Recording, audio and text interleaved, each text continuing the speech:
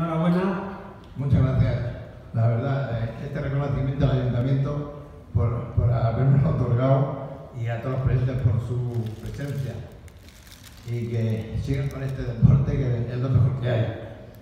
Eh, decía yo que no sé si te queda alguna categoría de Campeonato del Mundo en la que participar, ¿no? Me he leído por ahí que había algo pendiente, no sé si al final lograste correr en esa...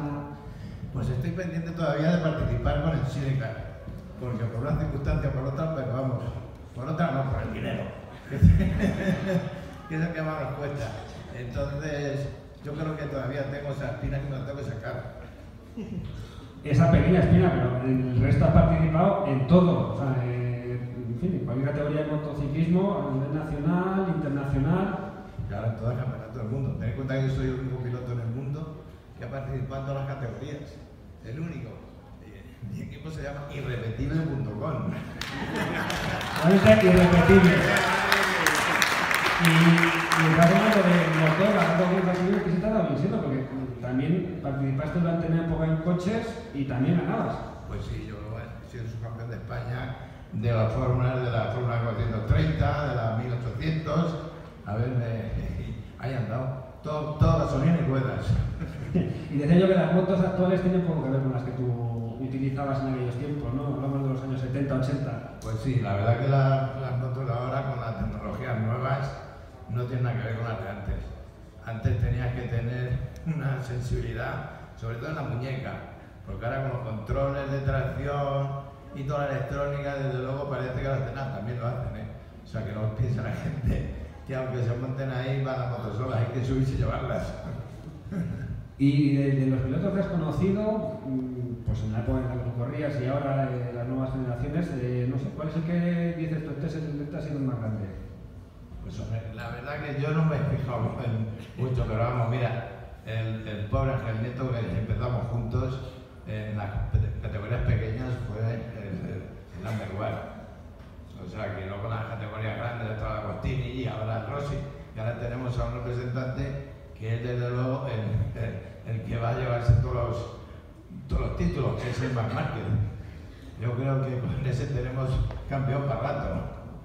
Eh, me contaba antes el concejal, ¿no? Que, que, bueno, aparte de Nani, que es como te han conocido, ¿no? Tienes- tenías otros apodos, otros dos por lo menos. Eh, Ranita y Valleta. Claro. ¿Por qué? Pues el ranita porque yo iba muy deprisa en, en, en mojado. Cuando las carreras se hacían en- con, lluvia, pues iba bastante rápido. Me, me iba bastante bien la lluvia. Y, el, y el- en cuanto a Valleta, pues como en aquella época yo las motos que llevaba no eran de primer nivel, pues tenía que dar más al 200%. Entonces eso, claro, tiene esas consecuencias. El viejo ya sabe lo que tiene. A hacer por el suelo un poco, ¿no? A ver, claro.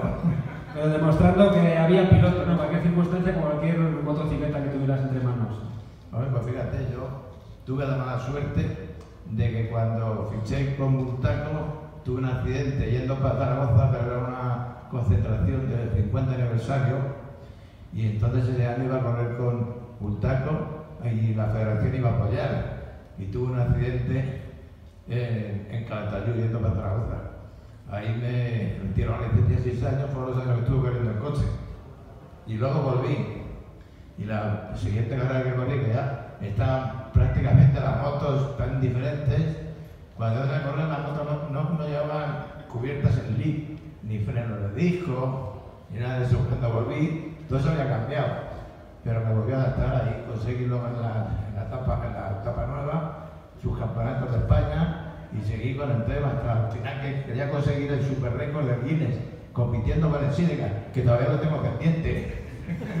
Y dispuesto a hacerlo. Pues, enhorabuena de verdad. Muchísimas gracias por venir por, aquí hoy y seguiremos charlando. Un aplauso para el Nani. Gracias a todos.